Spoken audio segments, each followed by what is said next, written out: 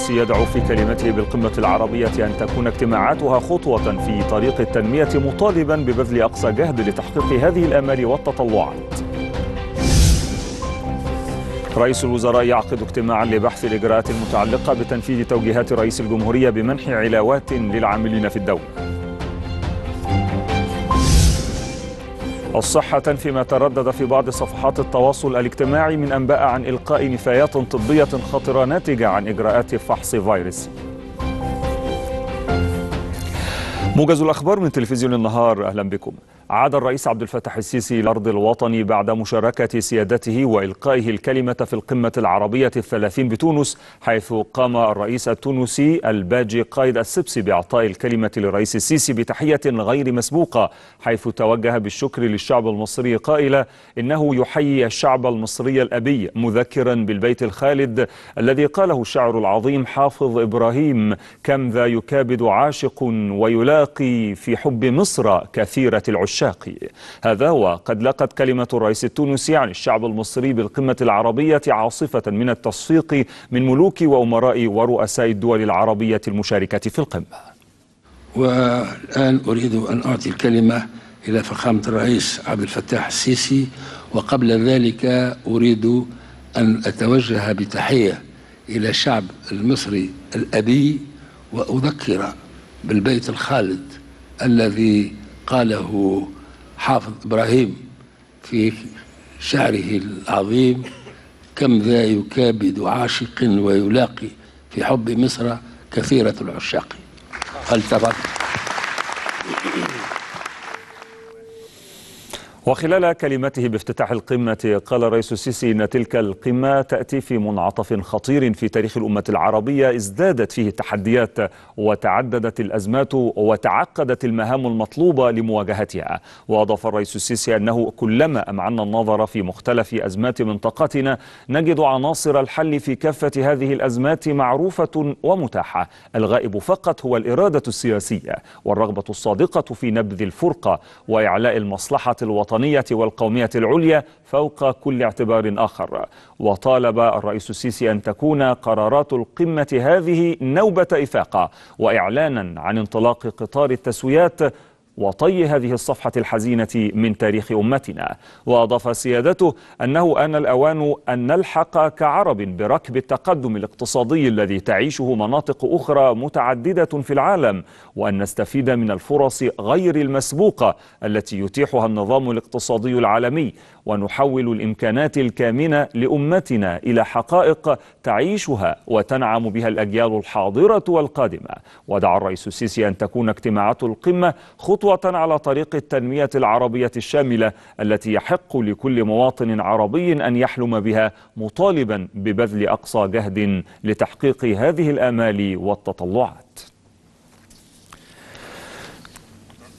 وقال الرئيس عبد الفتاح السيسي في كلمته خلال افتتاح القمة العربية الثلاثين بتونس إن تلك القمة تأتي في منعطف خطير في تاريخ الأمة العربية ازدادت فيه التحديات وتعددت الأزمات وتعقدت المهام المطلوبة لمواجهتها. وأضاف الرئيس السيسي أنه لا مخرج نهائيا للصراع العربي الفلسطيني إلا بحل سلمي شامل يعيد حق الفلسطينيين في دولة عاصمتها القدس وتعود الجولان المحتلة إلى سوريا. وأكد الرئيس السيسي في كلمته أن استمرار الظلم التاريخي الواقع على الشعب الفلسطيني سيبقى وصمة عار حقيقية على جبين المجتمع الدولي. وأوضح أن العرب اختاروا السلام وقدموا مبادرة شاملة تمد اليد بالسلام العادل مقابل تحرير الأراضي العربية المحتلة كافة وتنفيذ قرارات الشرعية الدولية مشددا أن اليد العربية لا زالت ممدودة بالسلام العادل والشامل القائم على التمسك الكامل بكافة الحقوق المشروعة وبمقررات الدولية ورفض أي محاولة للالتفاف عليها. وقال الرئيس السيسي إن ما ستتخذه القمة من قرارات سيكون له أثر حاسم على حاضرنا وعلى مستقبل الأجيال القادمة التي ستحاسبنا كما سيحاسبنا التاريخ على هذه القرارات التي سنتخذها وعلى النهج الذي سنتبعه في توجيه دقة دفة دولنا. وأكد الرئيس السيسي أن الإرهاب بات يهدد صلب وجود الدولة الوطنية ومؤسساتها في المنطقة العربية ويهدر مبادئ العروبة والعمل المشترك لصالح تدخلات إقليمية. إن استمرار الظلم التاريخي الواقع على الشعب الفلسطيني سيبقى وصمة عار حقيقية على جبين المجتمع الدولي طالما استمر ضرب عرض الحائط بقرارات الشرعية الدولية وبقيت محاولات الالتفاف على مرجعيات السلام ومحدداتها لقد اختار العرب السلام وقدموا مبادرة شاملة. تمد اليد بالسلام العادل مقابل تحرير الأراضي العربية المحتلة كافة وتنفيذ قرارات الشرعية الدولية. ولا تزال اليد العربية ممدودة بالسلام العادل والشامل القائم على التمسك الكامل بكل الحقوق المشروعة. ومقررات الشرعية الدولية ورفض أي محاولة للالتفاف عليها. أصحاب الجلالة والفخامة والسمو إننا اليوم أمام استحقاق آخر لا يقل إلحاحا أو تأثيرا على مستقبل منطقتنا بل والعالم كله. وهو المواجهة الشاملة لجميع أشكال الإرهاب وما يتأسس عليه من فكر متطرف يوحي قتل الأبرياء وينتهك كل التعاليم الدينية السامحة والمبادئ الأخلاقية والأعراف الإنسانية كافة. إن مواجهة خطر الإرهاب الذي بات يهدد وجود الدولة الوطنية في المنطقة العربية تقتضي التحرك بشكل سريع وبدون مماطلة لتطبيق جميع عناصر المقاربة الشاملة لمكافحة الإرهاب التي تضمنتها قرارات جامعة الدول العربية ذات الصلة وعلى رأسها قرار تطوير المنظومة العربية لمكافحة الإرهاب الذي اعتمد في القمة العربية في القمة العربية الأخيرة في الظهران. ولن تكون هذه المواجهة الضرورية ناجحة إلا أن شملت أيضا التحرك الحثيث لتجديد الخطاب الديني بحيث يعكس الروح السمحة الحقيقية لديننا الحنيف بعيدا عما يدعيه الجهلاء وبمنأى عن أي أفكار تخالف جوهره وتدعو إلى العنف أو الفرقة أو الطائفية باسم الدين وهو منها براء. قال الرئيس السيسي إن الدم العربي لا يزال يراق بأيد عربية حين وعلى يد إرهابيين أجانب وميليشيات عميلة لقوى إقليمية تسعى للتدخل في الشؤون العربية لإعلاء مصالحها حينا آخر. وطلب بالتحرك الفوري لبدء المفاوضات في إطار عملية جنيف لتحقيق تسوية شاملة للأزمة في سوريا تحفظ وحدتها وسلامتها الإقليمية. كما طالب الرئيس السيسي بتحرك شامل لتنفيذ كافة عناصر مبادرة الأمم المتحدة المتحدة للتسوية في ليبيا والتي اعتمدها مجلس الأمن منذ أكثر من 18 شهرا وحول الأزمة اليمنية. دعا الرئيس السيسي لتطبيق اتفاق ستوكهولم وتنفيذ الانسحاب الكامل والفوري من ميناء الحديدة كمقدمة لبدء مفاوضات تسوية الأزمة اليمنية. إنني واثق أيها الأشقاء أنكم ستتفقون معي في أنه أينما أمعنا النظر في مختلف أزمات منطقتنا نجد عناصر الحل في جميع هذه الأزمات معروفة ومتاحة. الغائب فقط هو الإرادة السياسية والرغبة الصادقة في نبذ الفرقة وإعلاء المصلحة الوطنية والقومية العليا فوق كل اعتبار آخر. فلتكن قرارات قمتنا هذه نوبة, نوبة إفاقة وإعلانا عن انطلاق قطار التسويات وطي هذه الصفحة الحزينة من تاريخ أمتنا. لقد آن الأوان أن نلحق كعرب بركب التقدم الاقتصادي الذي تعيشه مناطق أخرى متعددة متعددة في العالم وأن نستفيد من الفرص غير المسبوقة التي يتيحها النظام الاقتصادي العالمي ونحول الإمكانات الكامنة لأمتنا إلى حقائق تعيشها وتنعم بها الأجيال الحاضرة والقادمة. فلتكن اجتماعاتنا اليوم خطوة على طريق التنمية العربية الشاملة التي يحق لكل مواطن عربي أن يحلم بها وأن نبذل أقصى جهد لتحقيق هذه الأمال والتطلعات. وأكد البيان الختامي للقمة العربية التي انعقدت في تونس أمس أن تحقيق الأمن والاستقرار يرتكز على التسوية العادلة والشاملة للقضية الفلسطينية. وأوضح وزير الخارجية التونسي أنه من غير المقبول استمرار التدخلات الخارجية في المنطقة عدم شرعية القرار الأمريكي الاعتراف بالقدس عاصمة لإسرائيل. وأكد البيان الختامي للقمة العربية الحرص على وحدة ليبيا وسيادتها. وجدد رفض الحلول العسكرية وكل أشكال التدخل في شؤونها الداخلية. كما جدد البيان الحرص على ضرورة التوصل إلى تسوية سياسية تنهي الأزمة القائمة في سوريا. وشدد على أن الجولان أرض سورية محتلة وفقا للقانون الدولي وقرارات الأمم المتحدة ومجلس الأمن وباعتراف المجتمع الدولي. وأكد رفضه لمحاولات فرض لسياسة الأمر الواقع وتكريس سيادة إسرائيل على الجولان. وأكد البيان مساندة الجهود الإقليمية والدولية من أجل إعادة الشرعية إلى اليمن ووضع حد لمعاناة الشعب اليمني. وثمن البيان ما حققه العراق من نجاحات في دحر التنظيمات الإرهابية وتقديره للتضحيات التي قدمها الشعب العراقي في الدفاع عن سيادة بلاده وأمنه كما أكد على العزم على مزيد من تطوير علاقات التعاون والتنسيق الأمني بين البلدان العربية وتكثيف الجهود لمحاربة التطرف والإرهاب. عقد الدكتور مصطفى مدبولي رئيس مجلس الوزراء اجتماعا اليوم لبحث الإجراءات المتعلقة بتنفيذ توجيهات رئيس الجمهورية بمنح علاوات للعاملين في الدولة. ووجه مدبولي بسرعة إدراج مشروع القانون الخاص بالعلاوات على جدول أعمال اجتماع مجلس الوزراء المقرر عقده هذا الأسبوع حتى يتسنى إقراره من المجلس. ثم إحالته إلى مجلس النواب تمهيدا لبدء التطبيق اعتبارا من أول يوليو من العام الجاري.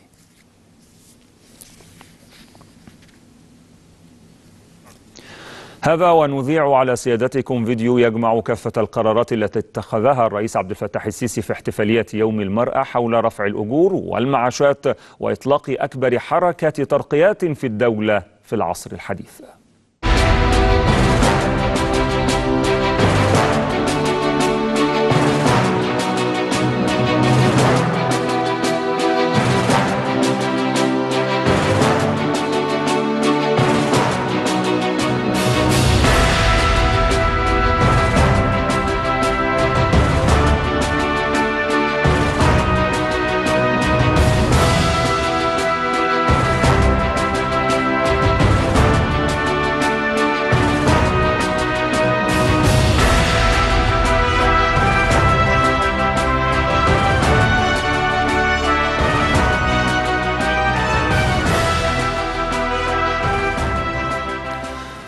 صدق القائد العام للقوات المسلحة وزير الدفاع والإنتاج الحربي الفريق أول محمد زكي على الإعلان عن قبول دفعة جديدة من خريجي الجامعات بالكلية الحربية دفعة مايو 2019 والتي تشمل الدفعات 115 أطباء و77 مهندسين و65 مختلط. صرح بذلك اللواء أركان حرب أشرف فارس مدير الكلية الحربية مدير مكتب تنسيق الكليات والمعاهد العسكرية أثناء وقائع المؤتمر الصحفي الذي عقد بمقر الكلية الحربية للإعلان عن شروط القبول للدفعات الجديدة. في ضوء اهتمام هيئة الرقابة الإدارية بكل ما يؤثر على مستوى الخدمات المقدمة للمواطنين فقد رصد عبر منصات التواصل الاجتماعي تضرر واستغاثة بعض المواطنين حيث قامت هيئة الرقابة الإدارية بتوريد لوحة تحكم كهربائي تعمل بنظام الفصل الأوتوماتيكي وتشغيل مركز الكولا وذلك بعد تعطل وحدة معالجة المياه بمستشفى التأمين الصحي بمحافظة بني سويف. كما قامت الهيئة بتغيير ماسورة مياه الخط الرئيسي الرئيسي بالفيوم بالكامل. بأخرى جديدة لمنع التسريب وانتظام ضغط المياه للعزبة وذلك بعد الشكوى من ضعف مياه الشرب بعزبة طلبة باشا. التابعة لمركز أطسى بمحافظة الفيوم حيث تبين وجود تسريب لمياه الشرب بالخط الرئيسي بمنطقة قصر الباسل بمنطقة دفنو نتيجة انفجار في العداية الخاصة بالخط. ونشرت جريدة الأهرام خبرا تحت عنوان مياه صرف صحي بلا معالجة. تضخها محطة عرب أبو ساعد في ترعتين بمركز الصف وتبين أن المحطة المشار إليها دخلت الخدمة عام 1992 وساءت حالتها الفنية مما أدى إلى عدم تطابق السيب النهائي من المحطة للمواصفات الفنية. وقد تم التعاقد مع أحد المكاتب الاستشارية لإعداد المواصفات الفنية واتخاذ إجراءات الطرح والترسية لأعمال إحلال وتجديد وتوسعة للمحطة لرفع كفاءتها على أن يتم إدراج الأعمال بدءا من الخطة الاستثمارية للعام المالي الجديد 2019-2020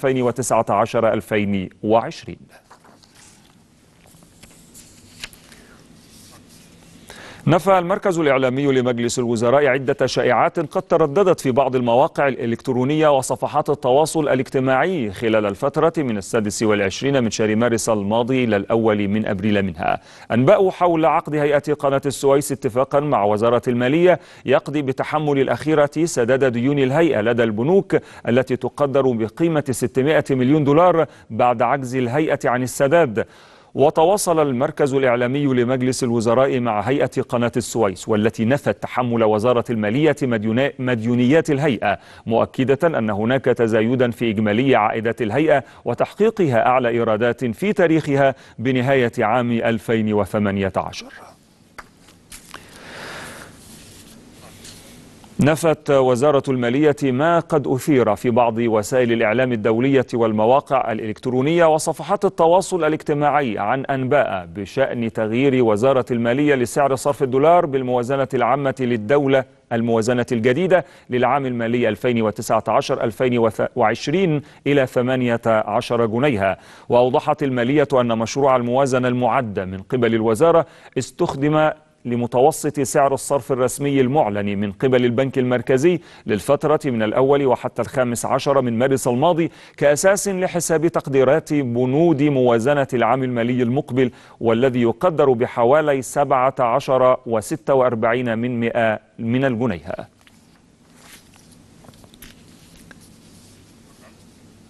نفت وزارة الصحة والسكان ما تردد في بعض صفحات التواصل الاجتماعي عن أنباء عن إلقاء نفايات طبية خطرة ناتجة عن إجراءات فحص فيروس سي في شوارع محافظة الجيزة عقب تفعيل المرحلة الثالثة من حملة 100 مليون صحة وتحديدا بمنطقة المهندسين.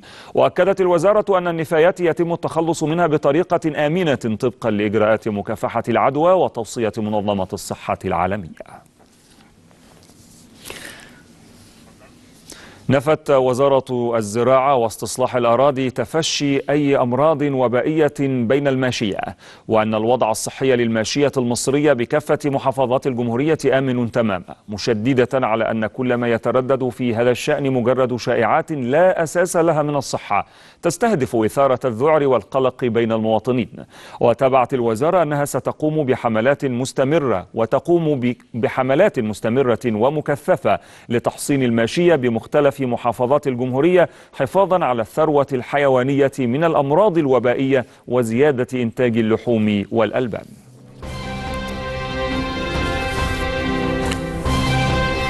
ختاما كان هذا موجزنا لأهم وآخر الأنباء من تلفزيون النهار. أشكر لكم طيب المتابعة. إلى اللقاء.